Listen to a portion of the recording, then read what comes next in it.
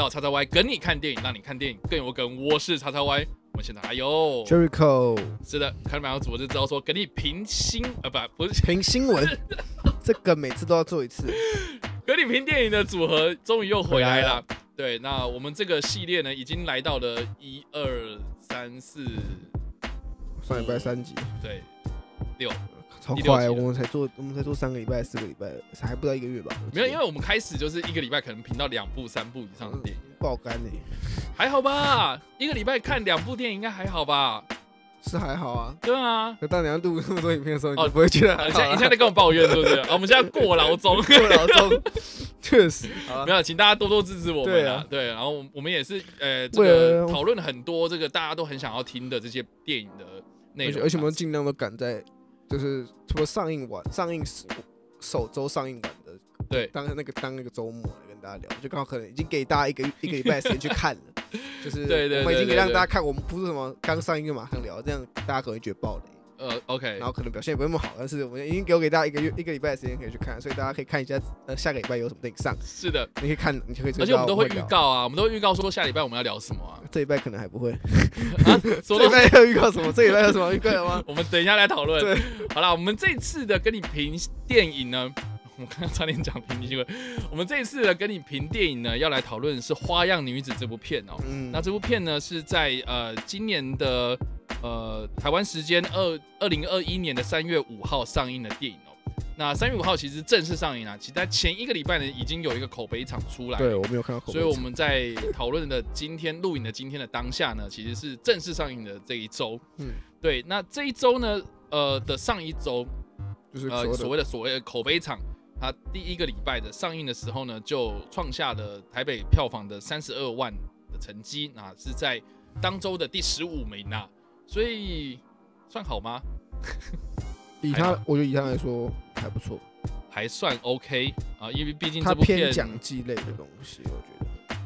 这部片。我我会觉得他偏，我不觉得他。当初是为了冲奥，或是为对，了评奖我不觉得，可是他的那个型已经被定型成 OK，我觉得。对对对，就目前来讲，就是因为呃这个金球奖啦或者奖季的关系哦哦，这部片在奖季期间的讨论度也是非常高的，所以呃蛮多人都在关注这部片的。然后这部片也非常的神奇，就是说它一开始的定位，我觉得它应该是小品故事、小品娱乐小品电对。电影，然后是有点偏议题类型的电影，议题类型，然后剧情，然后惊悚类型的电影。所以，所以我我觉得他今天有这样子的效果出来，我觉得除了是呃女演员很会演之外呢，我觉得这个议题方面呃有跟上这个时事最近的时事，而且有点有时候是呃算了，哎算了，没事，我想一下，对，好，那这部片呢，其实是这个 女导演艾莫瑞德·芬诺哦，她的首部处女作，处女作，首次执导跟编剧呃的的电影作品然后那这部片的主演呢是包括了这个凯蒂·莫里根，然后艾丽森·布里哦等等的这些人哦为主的这个片子啊。那当然呢，女主角就是凯莉·莫里根呢，在这一次的奖季期间也是备受肯定啊，然后入围了很多呃女主角的奖项这样子。所以算是这次的奥斯卡蛮大的一个热门人选呐、但是我们也不知道，因为我们录影的今天的明天他才公布入 才公布，但我相信他可以。我我我也相信他可以，但是如果没有的话，啊、不要怪我们请不要来泡我们，拜托好不好？我们录影的今天我们相信他可以，不代表奥斯卡相信他可以。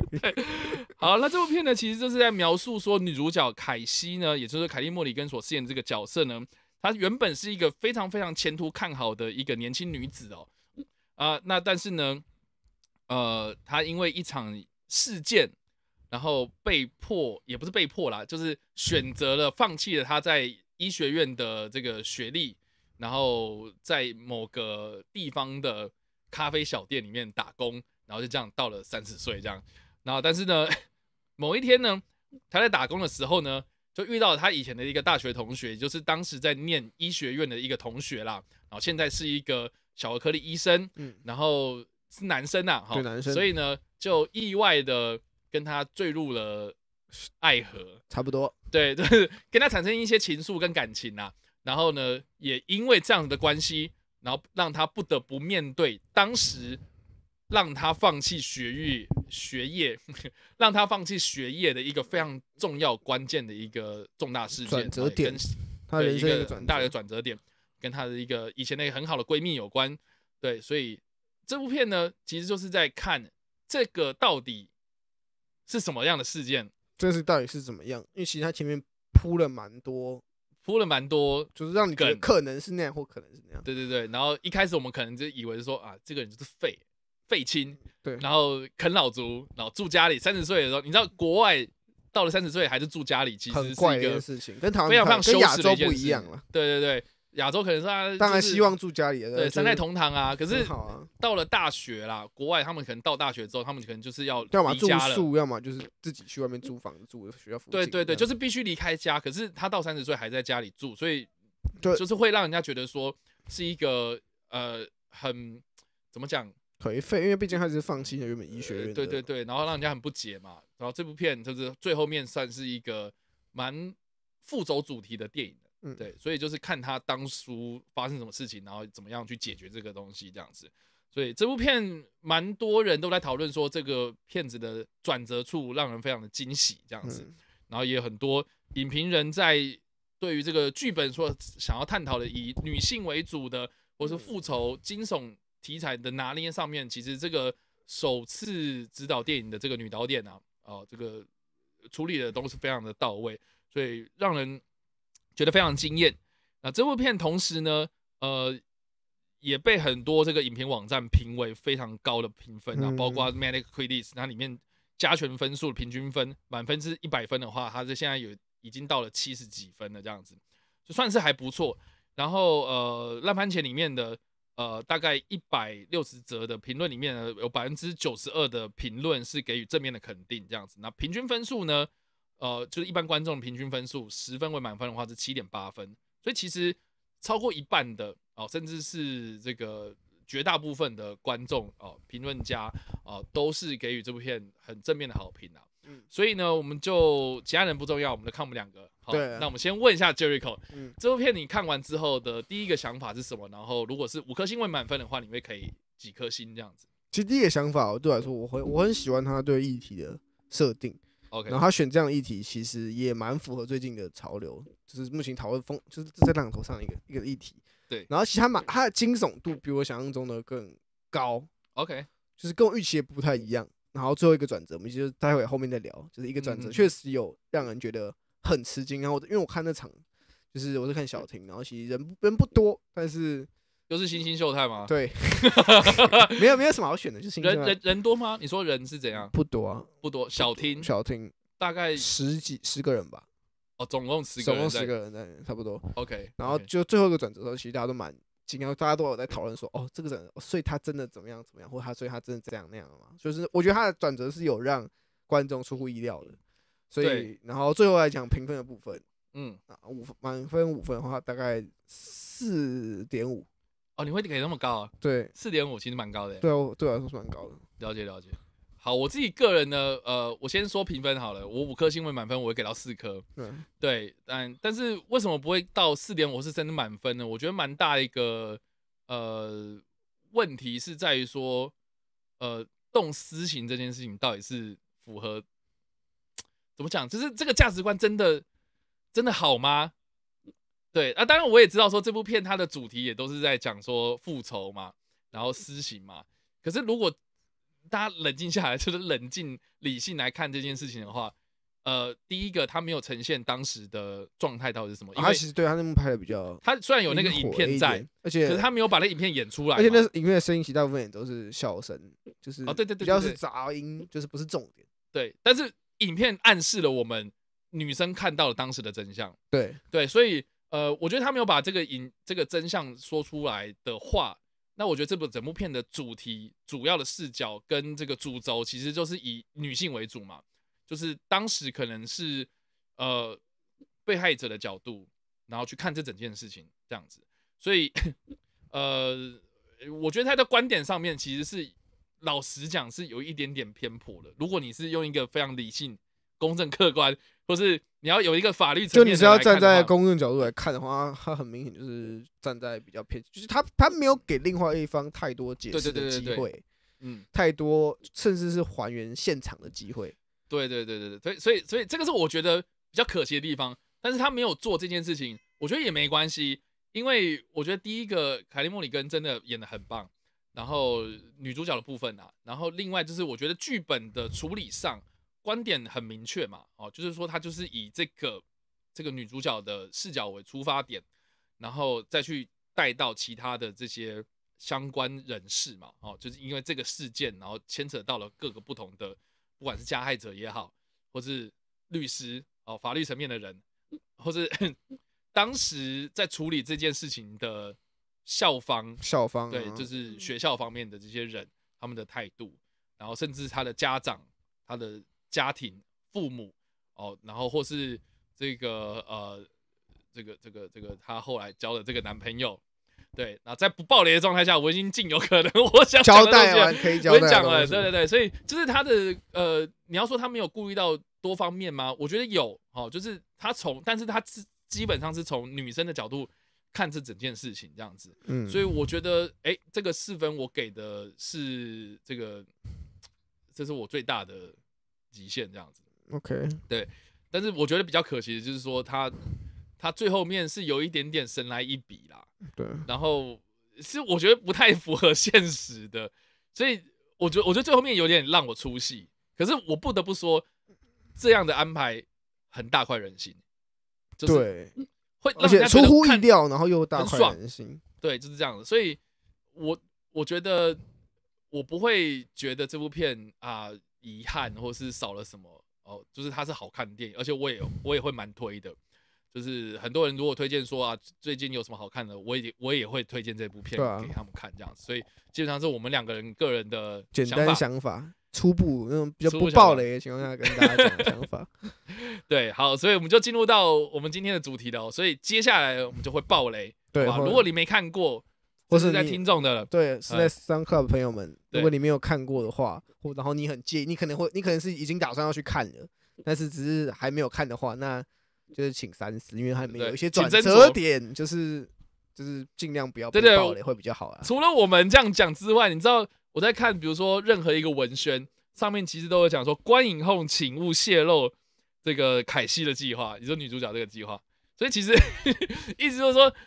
大家都不希望暴雷啦，哦，所以就是大家请斟酌。如果对，如果还没看的话，就稍微斟酌一下啊。如果你真的真的有人跳胎了，嗯，很好啊。如果你是。还在犹豫要不要看，然后你也不在乎暴雷的话，你只想知道这部作品到底在干嘛，然后到底整体我们讨论下来哪些地方好看，你只是你还在犹豫的话，那你可以就可以准备接准备接续观赏或准备接续听我们接下来要聊的东西。对，但是我蛮有信心，就是我们就算是剧透暴雷全部曝光光，你还没看，我觉得你也会觉得很有兴趣想要看。当然，对，老实说，我觉得这部片的剧本真的很强。对对，真的很强，然后而且观点非常的明确，然后我觉得我我觉得这个各个方方面面啊，哦，就是整部片的那个执行力，我觉得都很到位，所以我觉得它是一个非常精彩的一部片子，这样子。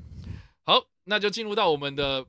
暴雷环节了。暴雷环节，那我觉得这部片可以分三个部分来讨论啊。第一个部分当然就是凯蒂莫里根啊，被最备受瞩目的那个。对女女主角的诠释方面呢，我自己个人看的时候呢，我觉得。我觉得很棒，就是她有很有层次，然后前后就是在跟着这个主题下来，你会从一开始觉得这个人真的废到不行，然后你会觉得很烂，他真的是一个这真的是个米虫这样子，然后你为什么不努力嘞？这样子，然后到最后你慢慢慢慢的会改观，然后会会甚至同情他，然后会觉得说他做这些事情其实是你不能说情有可原呐，因为毕竟你知道。按照道理来说的话，本身就是按照我们比较最正规、就照道德规范来讲话，对，其实是不太不太能够鼓励这种行为的。鼓励，但是能理解。对，但是我能够理解为什么会这样。然后我也我们也能够感受到他愤怒的点，我们感受到他很痛苦，他很难过，他他在面临这些这些过去的阴影的时候呢，呃，为什么会做出这样的事情？我觉得我们都能够有那个共鸣在，所以我觉得整部片。你要你要说这部片是凯利莫里根的独角秀，我觉得算是啊，我觉得就是好不好？就是啊，对，就是看他表演，我觉得这个非常过瘾的，所以我会推荐很大一个原因，就是因为光看剧情、表演、故事，我我觉得就是一个很精彩的故事了。这样，所以我觉得呃，这次凯利莫里根真的很棒，这样子。对，那另外呢，就是我觉得就凯莉莫里根的这个女主角的戏份来看的话，呃，我觉得她就是呈现了三个阶段嘛。第一个阶段就是呃三十岁很废，宅在家里，然后做很烂的工作，对，没什么前途，然后到中间她挖掘真相，然后开始要去你要写那个笔记本，然嗯后从一二三到五嘛，嗯，对，然后这整个过程中间的那一段去寻仇这件事情，我觉得我觉得是一个呃很循序渐进、很有层次的过程。然后第三个地方，我觉得是电影中它穿插了一个他跟男男生的一个互动，就是他有这个过去的阴影在，可是他想说好，我就试着放下，改变，想要试着放下，然后想说就是好，我借由这次的新的恋恋情，然后去这个进入到下一个人生阶段。就是摆脱就是之前的那个低潮啊，就是试着要改变自己嘛。对对对对对，我我我我我觉得这个是这个的剧情，这个女主角的这个形象的塑造里面是一个很精彩的地方。因为我们一开始看电影的时候，那个剧情就是她在酒吧里面勾搭人家，对对，然后也用了这样的方式，然后仙人跳了很多人，对，对，所以所以从这样子这个反差哦，其实我们也可以看到，从感情面啊，从他这个呃自己的生涯哦，嗯。自己在这个探索生命的过程中，自我认同的这件事情，我觉得我觉得都有很精彩的演出，所以我觉得女生女性主题以女人这件事情呢、啊，呃，我觉得这整部片哦真的是非常的推崇这样子，对吧、我我不知道 Jericho 你看完。我觉得对于角色的整个完整度，因为其实他其这种类型电影就可能呃主角陷入一个低潮，他可能因为过去发生的事情，他陷入在低潮里面，然后他可能非常的，他可能他整个人生就是电影大部分时间他可能都是非常的负面，他可能嗯一直想要复仇。可是我觉得像我们刚刚说的，他多在剧情里面多加了一点，他可能会产生，他可能可以走向新的道路的那个可能性。嗯，那就让这个角色更立体、更贴近真实。我觉得要这样讲。对对对，因为很多人大家知道，你不可能有一个人没有没有一个人一辈子都是非常的负面，他可能有曾经想要觉得，他可能曾经有快乐过，他可能曾经尝试过，I try，就是他可能每个人都有那个 try 的过程，那有没有成功不一定。那像你们像就像剧中里面他试了，但他最后还是觉得他办不到，对对对，那可能发现事情还是没办法照他想的，他还是得把那个事情了结之后，他才可以或许才可以变得更好。对对对，所以以我觉得多加那个设定，就让这个角色这故事更贴近现实一点。对不是一个完完完完全全一个复仇愤怒的故事，而是一个对，因为如果他真的是完完全全是都在讲他复仇，我觉得这是昆汀塔伦提诺，而且就是会很 会很爽，可，是你会会很过瘾，你会觉得他这这故事有点架空，不切实际。啦，你就会知道，你要看昆汀塔伦电影会，你你你你会觉得他不是 同一个世界的人，你会觉得说对，就我知道，就是你可能要你会知道那是一个他自己独立的世界观对产出来的作品，因为你不会说不好看，但就是你们你可能会觉得哦，这个事事情好像不太可能发生在现实生活中对对哎，可是他放了这个东西，可他放了这个东西，让这个角色觉得哎，好像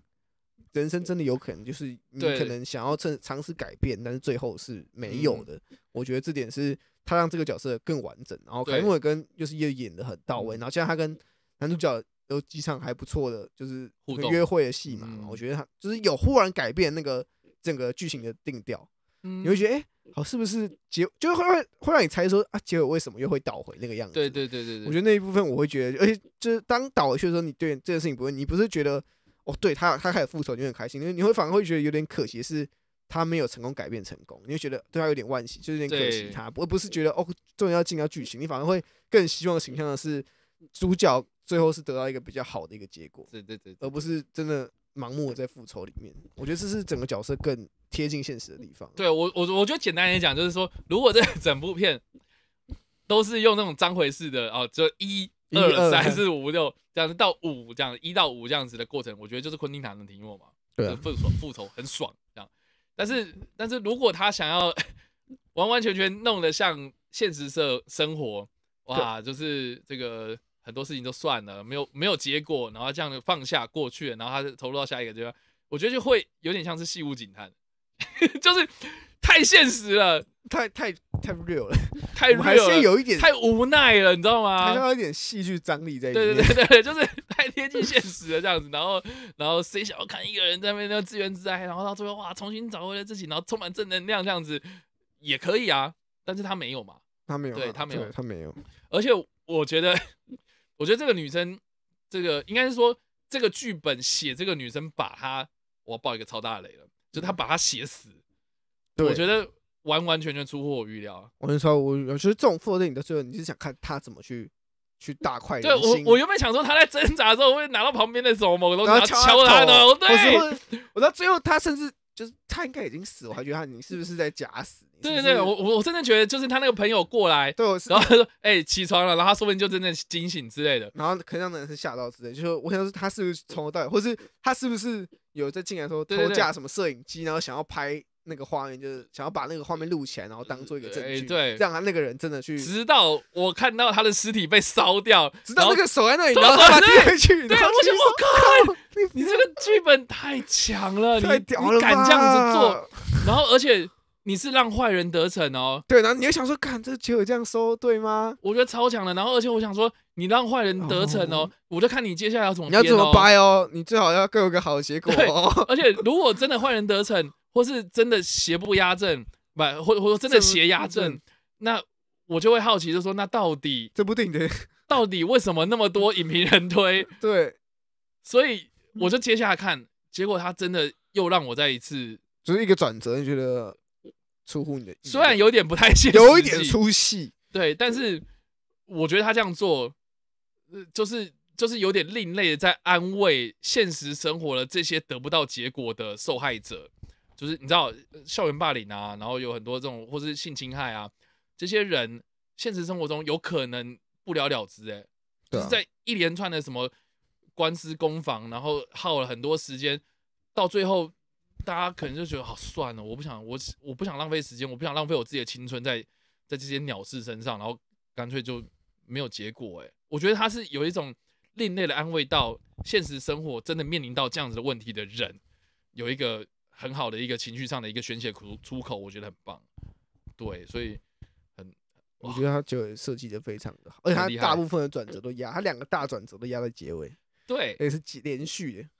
对。就觉得他真的死的时候，就是全部傻眼。我我我一开始原本以为转折会不会是在，就是他呃跟那个男主角已经开始有点在约会，然后结果他还是到酒吧去勾搭那个黑人，嗯，然后在酒吧的外面，然后遇到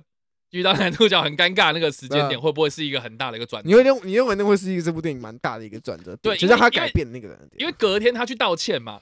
然后我一开始原本转折点啊，对我一开始以为会不会他去道歉，然后男主角就说好了没关系啊，我们再继续。对，对，结果男男主角当下没有说，当下拒绝他嘛，对他当时就说他不知道，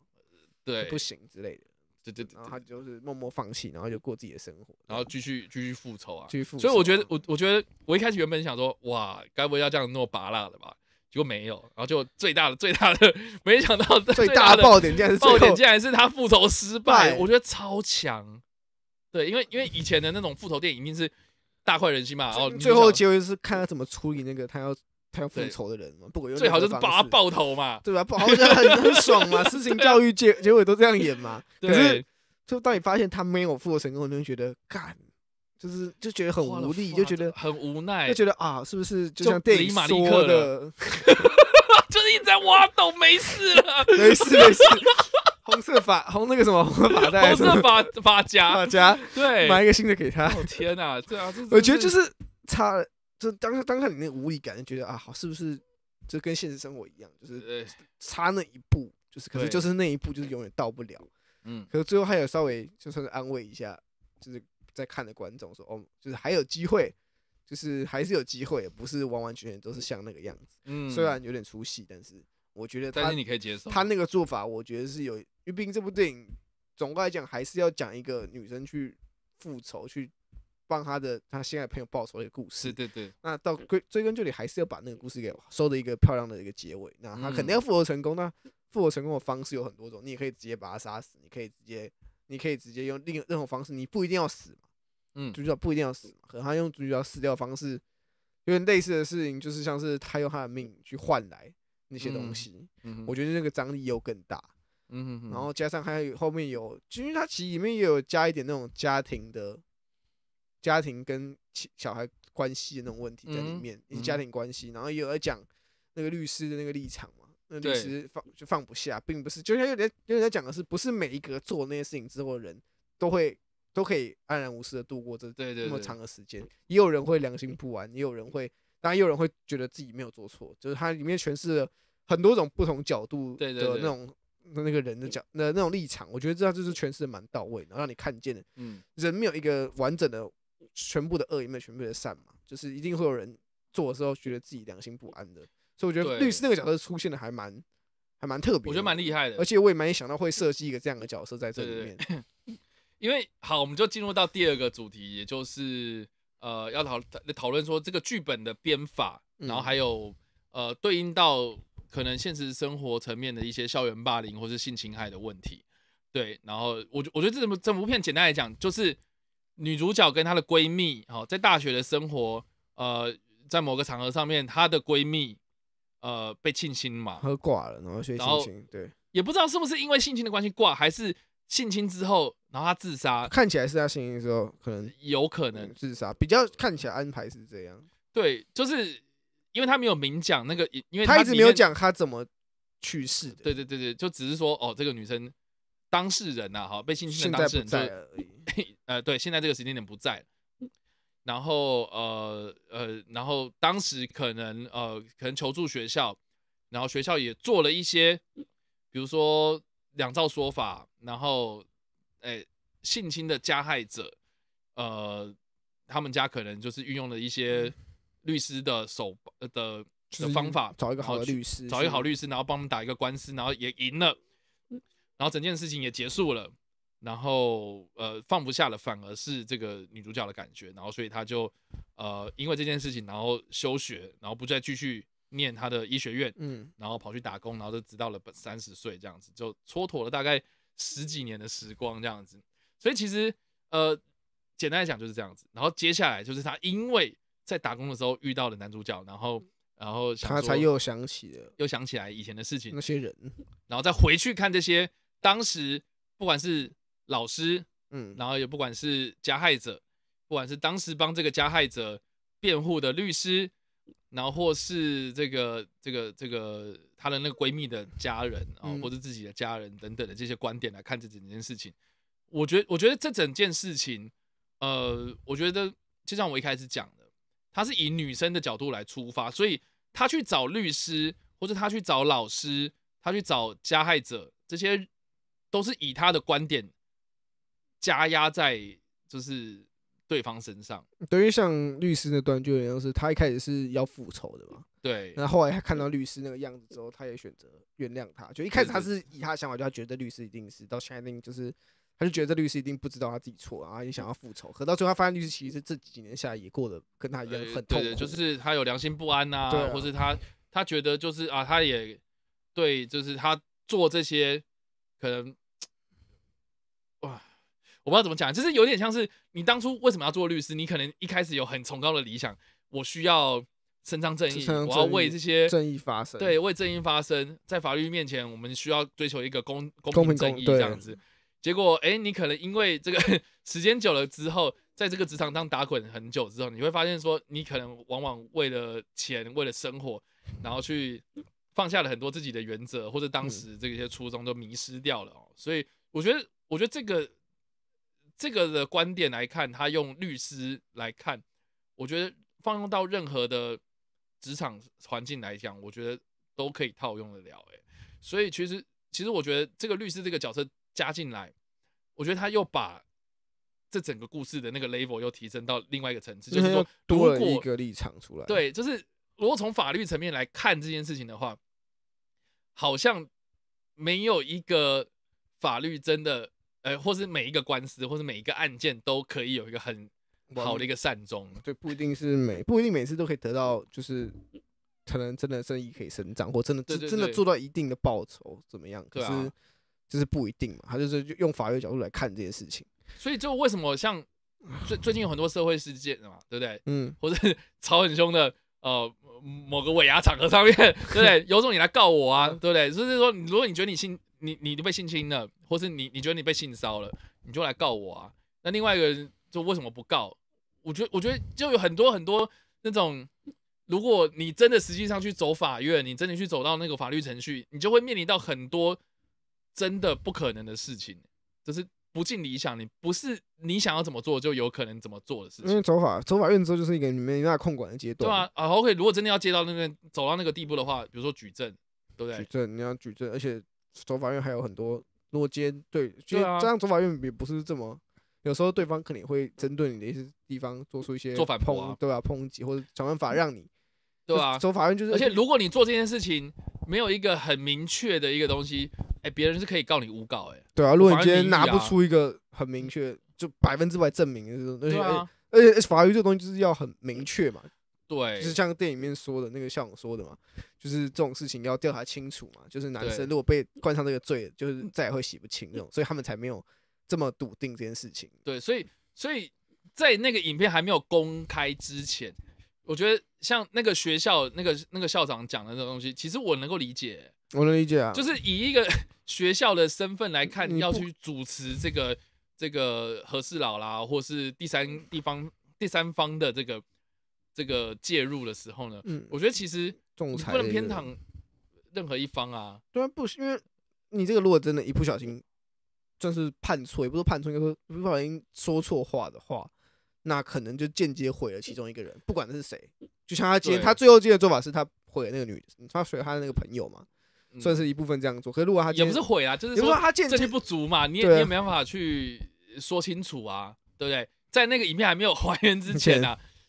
我觉得就是没有一个很明确的事情发生，然后然后双方可能就是各说各话嘛，然后啊我们当时没有对他怎么样啊，然后女生也提不出来，就是说啊，这是为什么我要这样讲他啊，这件事情就无聊不了了之啊，对吧、所以我在想，就是那个影片最后是一个有点像是原子弹一样，就是爆炸这样，然后他也呈给了警方，或者呈给了那个呃那个律师嘛，那个律师有拿对到，那个律对师拿到，那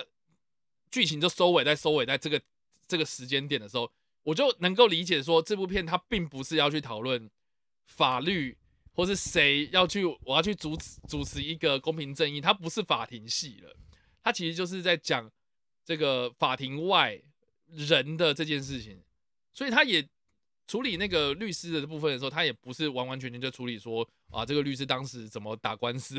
然后他他没有还原法律法律判决过程，对，他其实都是围绕在人这件事情身上，所以不管是律师哦，律师也是人啊，法官也是人啊，警察也是人啊，校长也是人啊，然后男生也是人啊，女生也是人啊，所以其实这人的反应其实才是呃这整部片想要去探讨的一个重点哦。所以我到最后面我就觉得说，OK，你既然没有想要讨论法律，那那我就是看这个你在编剧的过程之中，你把这个人的反应，人跟人之间的互动怎么样去呈现出来，我觉得就就就很 OK 了。所以我觉得更有趣的就是说，OK，他拍到就是呃，就是那个校长那一段的时候，嗯，对，其实其实我很开心，就是说他也表达了，就是说当当时的立场是怎样。确实，就是你在现实生活中，就就是就是这样啊，对你去求助很多人的时候，站在那个人的角度，嗯，他不可能，或者或者以你的角度出发，你会觉得说，哎、为什么你不挺我？对一？定会这样想啊，你一定会这样想，我明明就已经这样子了，为什么你不听我？然后你为什么你你你你你不听我的话？你跟我是跟我不是在同一国？嗯可是站在别人角度来看的话，他也没办法去做出任何的评断啊。对啊，因为对对他来说，他就是不知道到底完整发生什么事情，也没有任何证据可以完整证明当下到底发生什么事情。对对那如果他现在太过轻率地选择，哦，好，我就听你。那如果事情到时候错了，嗯那是不是间接就是不小心去不小心去伤害到另外一方嘛？对对对，那我相信以一个学校来讲，他们也不会去做这种事情。对啊，所以其实我还蛮想要，你知道，我看完当电影的当下，我就很想要找律师朋友去看这部片，然后，然后如如果是一个有呃经手过呃民事案件，或是这种刑事案件，或是这种性侵方面的东西，他们怎么去看这部片？然后现实生活中是不是有类似的一个状态，就是哎没办法解决，然后到最后官司就没了，撤告和解。我觉得，我觉得我很想要找法律相关的朋友来看这部片，应该会有不一样的这个观观观感啊。嗯，对对对，好，我们回到电影本身，我们刚刚讲到剧情性侵的处理方面，我觉得很聪明，就是他没有把那个影片显示出来，就是等于是说，OK，这件事情完完全全就是女生的出发点，她看到的，就是对，就是要就是他不要去模糊焦点，然后说就算是把焦点聚焦在这个角色身上，因为毕竟如果你真的拍的影片，那可能会模糊焦点，那整个立场观众看起来也有观众人说哦，那个男生其实也还好啊，也还好啊大家可能会觉得，因为他说他就是要把观众的情绪堆叠到那个点上面，就不能有任何差错，对不会让你中途岔开来这样，所以我觉得他，嗯我能理解他为什么那样做了。就是对他没有把那个影片呈现出来，就是只照到女主角去看到那个画面面那个东西。对，因为他那个重点其实就要带出说，其实我现在的男朋友当时也是加害者。对他其实要讲，他是要讲那个重点。对，那那你会因为以前的事情，然后影响到你现在跟这个人交往吗？对吧、我觉对，这个就是我觉得这部片厉害的地方啦。对，有很多地方它是抹掉的，对嗯，这是第二个重点啊。第三个重点其实就是呃配乐的部分嘛。，对，配乐部分，我当初就是因为那个小甜的布兰妮那首歌，嗯，我我我我我我觉得这个预告片太屌了，这样子，所以我就真的啊想看。对，它整个配乐其实。应该说，就有因为还有很多是属于那些有有有些歌曲啦。对对对，那歌曲的部分，如果大家有兴趣，可以去查他们的原声的，就是现在各大应该各大声有现在 Spotify 有，所以各大声音都还可以以找一下，可以听，其实都嗯蛮都蛮有象征性的。对我会觉得，然后对于整个节奏，对于整个电影的节奏，我觉得它有做到辅助的效果。对对对，它不会对让你觉得很出戏，嗯就是它该快乐的地方，它就是快乐；嗯哼，但它该让你觉得压抑的情绪的时候，它也有。所以我觉嗯得最重要就是一个配乐，最最近很多电影的配乐是比较很难让你去，就它它你独立听，你当然觉得它好听的，嗯，可是你真把它电影融在一起的时候，你觉得有时候可能就刚好符合，就嗯哦符合这个情绪，可是很少是可以帮电影加分。的配乐。我觉得今年的奥斯卡入围配乐，我觉得我可以，我觉得今年战况应该会蛮激烈的，对希望可以激烈。对啊，这讲讲到讲到歌曲的部分，我很喜欢它里面插了一个那个那个那个 Paris Hilton 的那首很巴拉歌，对，很巴我觉克，得超智障。对对对，你知道，你知道，就是在国外哦，呃你知道 Paris Harry 那个希尔顿帕巴里斯希尔顿嘛，他就是那个希尔顿集团的那个千金嘛，然后他就一直很喜欢在很想要当明星，所以他就是在演艺圈，比如说出唱片啊、演戏啊。就我有看过他演过电影，然后他那一年也被提名金酸梅奖这样，所以就就是你知道吗？就是就是呃，简单来讲，就是他在国外很多人的印象之中，他会是一个金发无脑妹这样，对虾妹，虾妹这虾妹，但是他很有钱，他很有媒体资源可以去 曝光，或者是她去炫富这样子，所以他他去唱这种歌，其实就是拔辣歌，毫无内容的这种很拔辣的歌，然后就是流行音乐，然后他唱的也没有很好听嘛，嗯。对，所以就是就大家会觉得她就是一个泡泡糖女孩这样，嗯，对，就就是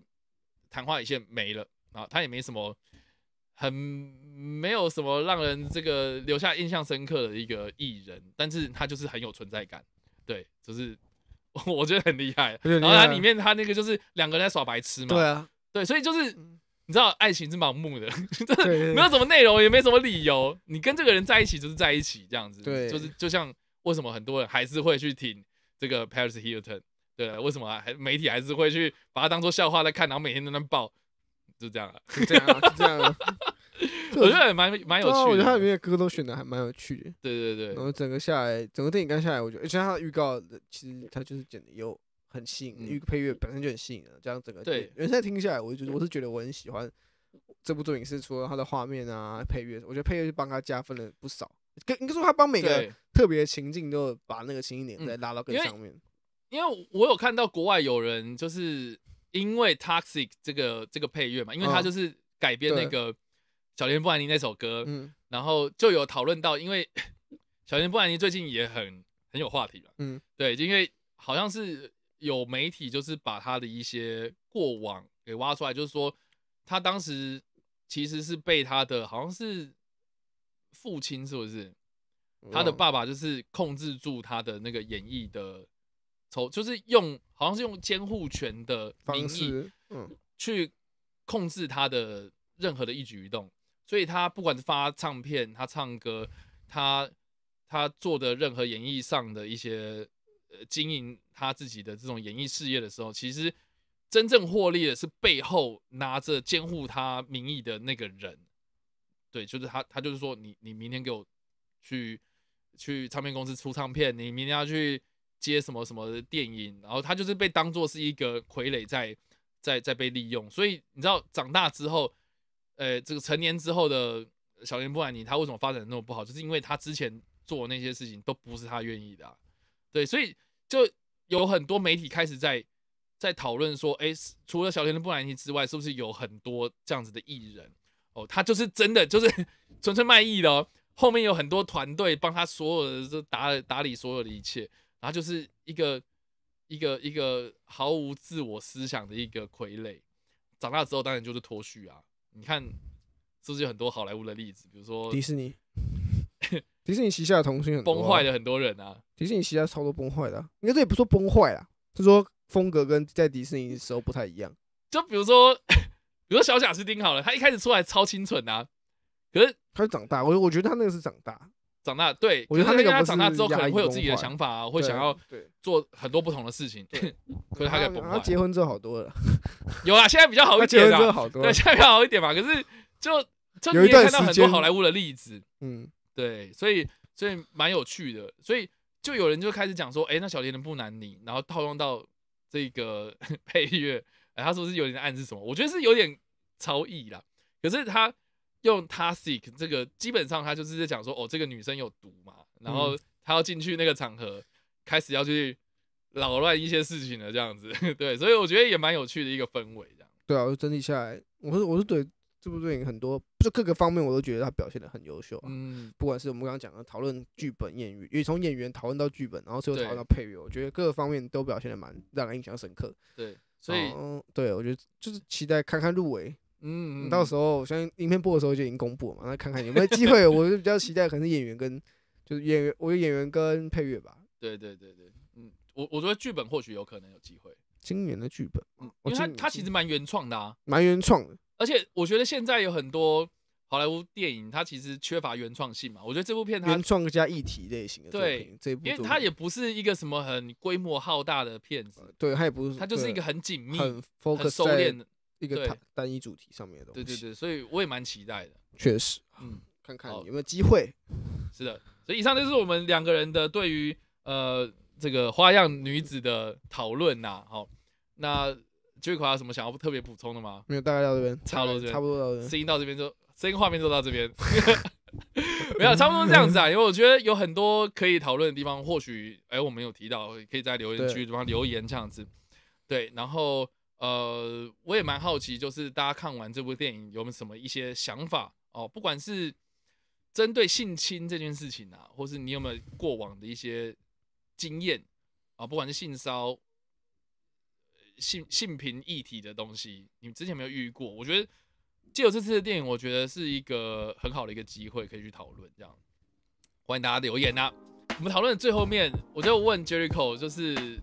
这部电影我们会推荐哪种类型的人？我已经变成我们这个类型，已经变成我们这个系列的最后结尾，固定的固定的一个结尾了。对啊，因为就是 你知道推荐嘛，哦，对啊，如果我们大家站在推荐的角度，你看完这部电影之后，你觉得哪些人比较适合去看？你的特定要选出一种特定的族群，是这样吗？我觉得其实这部片蛮普，我觉得它蛮适合大众的，就是你真的任何人看都会有感觉。因为我到现在目前为止，我我我还没有遇到看完觉得难看的人。因为他你说他没有娱乐性，他有娱乐性；你说他没有戏剧，他有；他有议题，他也有；他演技。只是我觉得我我觉得就表面的卖相来看，我觉得他，并不是一个，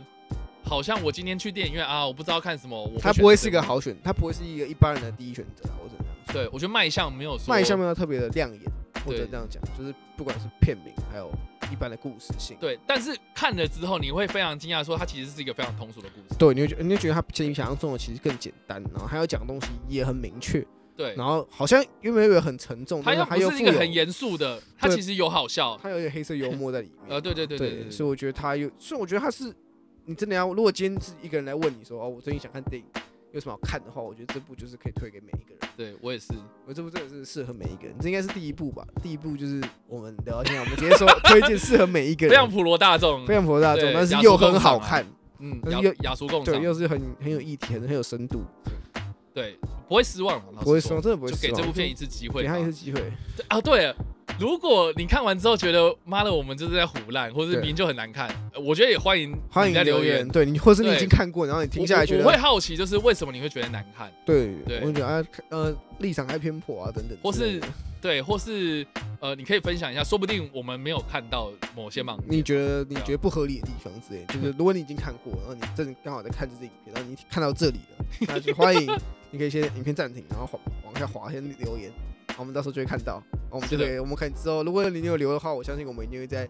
可能下一次评点员先回答你之类的。OK，对，我觉得我相信，如果你有真的觉得它不好看，你真的觉得看怎么可能那么好看？我觉得我看完，我觉得它就很烂，浪费我的票钱之类的，欢迎留言。对啦，所以以上呢就是我们今天的跟你评电影的《花样女子》的部分啊。那下一次我们要评的电影呢是《寻龙使者》拉雅，那请大家记得锁定我们这个单元哦。那如果喜欢这部影片或声音的话，也别忘了按赞追踪我们的脸书粉丝团，订阅我们 YouTube 频道、IG 以及各大声音平台喽。那我们下一次跟你评电影再见，拜。拜拜。